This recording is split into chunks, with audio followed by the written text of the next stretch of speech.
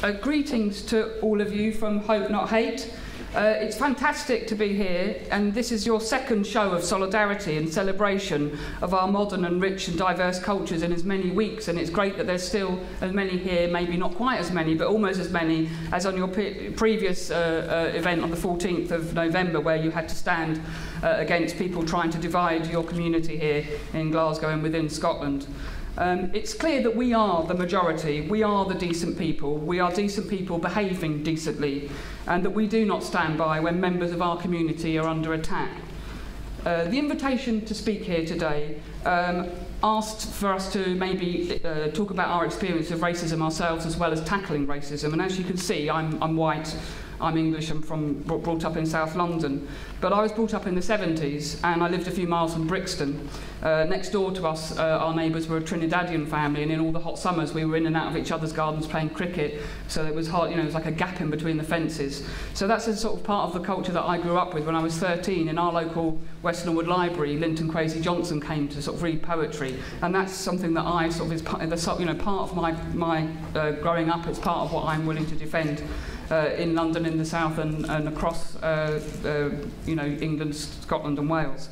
Um, also, as a teenager, one day coming home on the bus, uh, some kids got on and called me a Paki lover.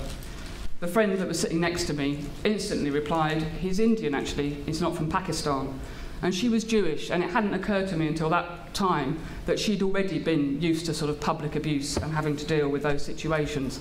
And these are things that we may have thought that we had seen uh, a lot less of these days, the fights of the 70s, 80s, and 90s. And unfortunately, those incidents are becoming more frequent, it's more acceptable, kind of casual racism is, is becoming a kind of norm. Um, and today, I think all of us are aware, as it's been mentioned, that this can turn into much more uh, vicious, violent attacks on people and, and loss of lives. So we cannot be complacent. And I know within Scotland you've got a proud tradition of not voting for the far right.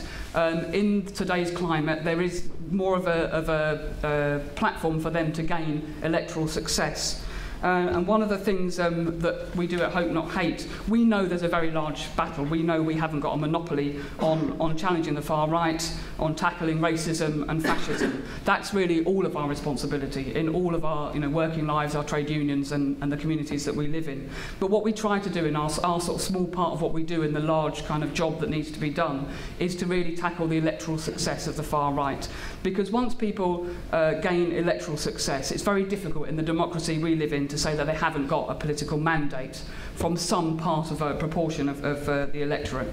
Um, so we're, we're hoping to work alongside all of you that are here already. We've had a lot of in, increased inquiries in the recent years because people have been feeling that increase in the kind of chat at bus stops, in pubs, uh, of, of racism that's going unchallenged. And people wanted us to start having Hope Not Hate groups and events around the country alongside all the other groups that operate, Show Racism, Red Card, UAF.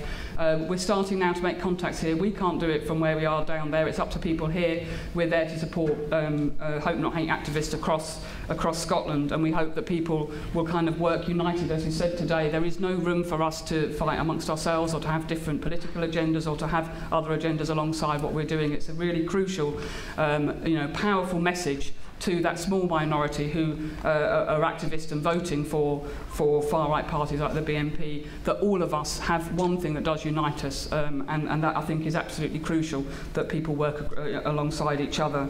Um, in terms of, of the, the ways in which things are addressed, the other issues, I mean, racism, I think, has to be tackled at all levels. It has to be in your workplace, it has to be in the pub, um, as well as in a more organised way through the trade unions in inequality uh, in the workplace. And I'm, I welcome the report that just come out from Scottish TUC, Sectarianism in the Workplace, you know, which is important that we, we research and, and illustrate and make recommendations about all the issues that need to be tackled, things that maybe aren't easy to, to be talked about, that have to be addressed.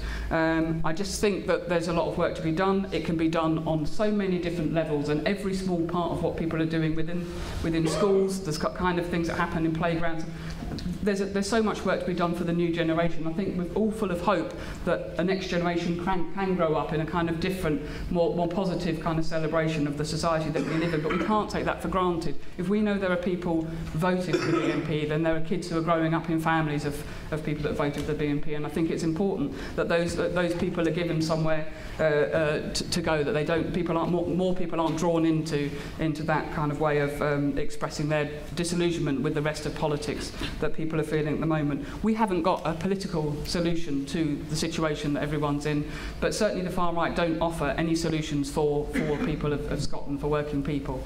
And that isn't their agenda, that's what they will be tapping into. And I think it's up to everyone else to, to really expose what, what the policies are, what, what the kind of um, thing that drives them is and what their real agenda is. And I think there's a lot of potential for people within Scotland to make sure that the uh, far right parties do not gain any more electoral success because that will make it far more difficult for them to organise and they will not get any more legitimacy uh, through, throughout your nation. So I'd just like to say thank you to all of you for inviting us here and I look forward to working with all of you um, and I hope the rest of the day is good and we'll be back next year.